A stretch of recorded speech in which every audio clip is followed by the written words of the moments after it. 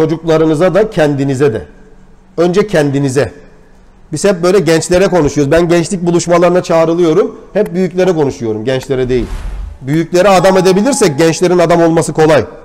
Sen bir baba olarak evinin dinini, diyanetini sağlamakla mükellefsin. Ayet var. Er ricalu kavvamune alen nisa. Erkekler kadınlardan üstündür. Hani kadın erkek eşitliği diyorlar ya. Bu tamamen yalan.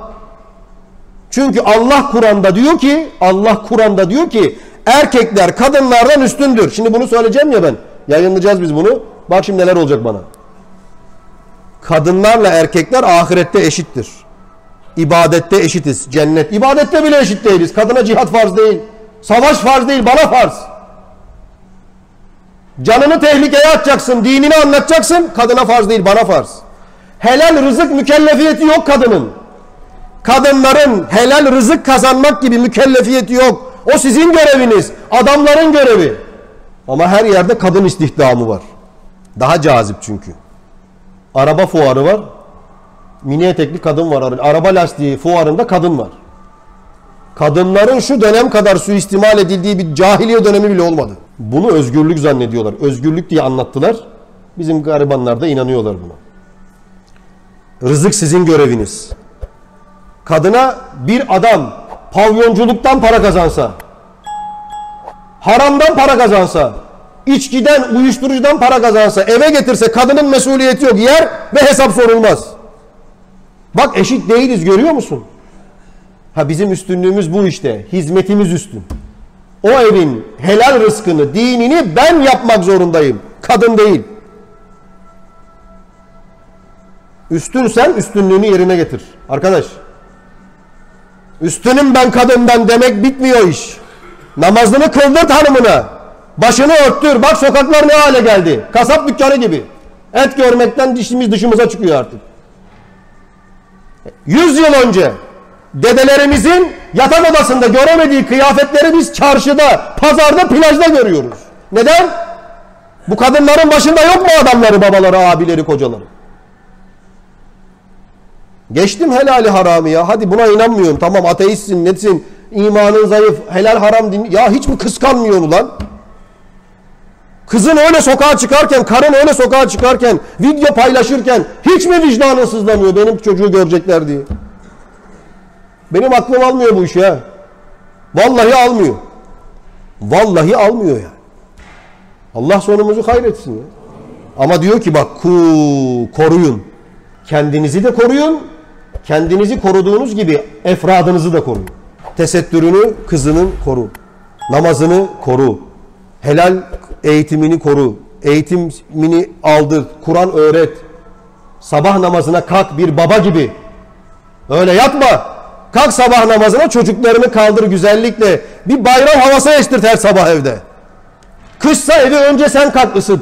Sıcak suyu hazırla. Artık imkanlarımız var ya. Eve kovala su taşımıyoruz biz. Hepimizin evinde, en fakirimizin evinde doğalgaz, hazır sıcak su var. Güzelliklerle kaldırın. Görevinizi yapın. Koruyun. O çocuk desin ki ben babamdan öğrendim bu işi. Anamdan öğrendim desin. Baba namaz kılmıyor. Anne tesettürlü değil. 20 sene sonra anne babanın aklı başına geliyor. Hocam diyor çocuğum namaz kılmıyor, kızım örtünmüyor, içki içiyor bilmem. Burada oldu hemen bir teyze söyledi Ramazan ayında. Hocam dua et çocuğuma diyor 20 yaşında namaz kılmıyor. Baş edemiyorum diyor. Çocukken öğrettim mi? Yok hocam öğretmedim. Dua edelim. Hakikaten dua edelim yani. Artık bir şey kalmamış yapacak. Çocuklarınızı, ailenizi, kendinizi ateşten koruyun beyler. Okulunu düşündüğünüz kadar. Değil. Ey Müslümanlar!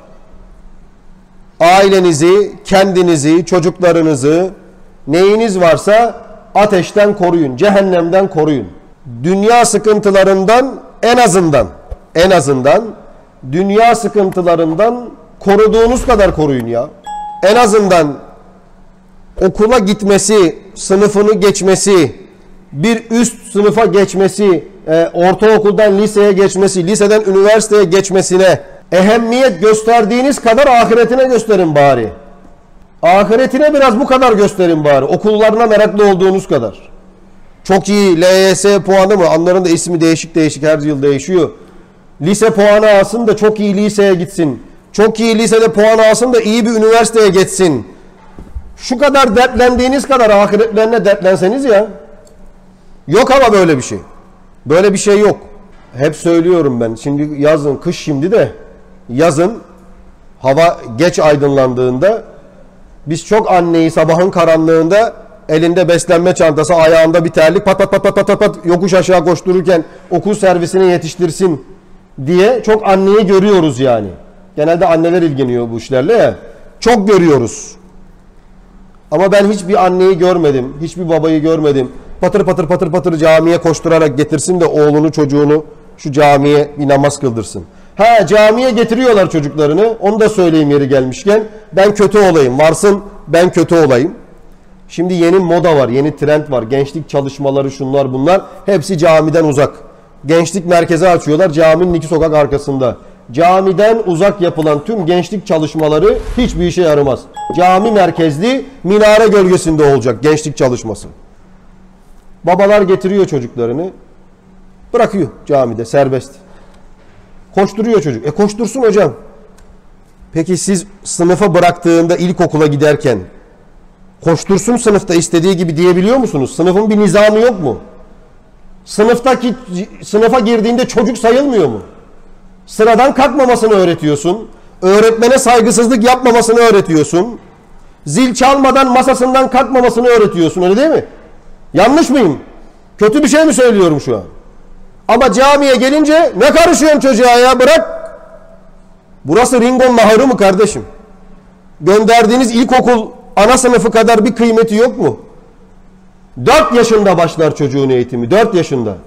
Sen buraya getireceksin çocuğunu evet getireceksin. Yeri gelecek yuvarlanacağı da olacak. Ama ben öyle babalar görüyorum umurumda değil. Teravih kıldık bir ay. Söylemedim hususi de kötü olmayayım diye. Bugün olayım. Zaten kötü oluyorum ne desem oluyor. Salıyor çocuğu.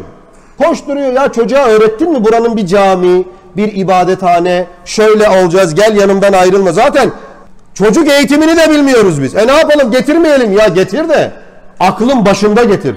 İlkokula, anaokuluna bırakırken yaptığın tembihleri yaparak getir.